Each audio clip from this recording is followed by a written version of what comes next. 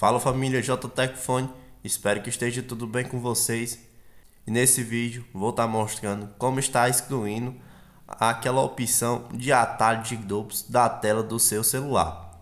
Aqui no canal já tem um vídeo falando como está criando um atalho de grupos para a tela do seu celular e hoje eu vou estar tá mostrando como vocês podem estar tá removendo aquele ícone de atalho da tela do seu celular. Mas antes, se inscreve no canal, ativa o sininho de notificação, deixa seu like, bora pro vídeo. Então pessoal, vocês irão pegar aquele ícone de atalho e levar ele até em remover. Pronto, a partir desse momento ele já foi removido da sua tela inicial e você não precisa mais fazer nada. É um processo bem simples de você estar tá fazendo e realizando no seu celular. Espero ter contribuído com mais essa dica para vocês e até o próximo vídeo aqui no canal, família.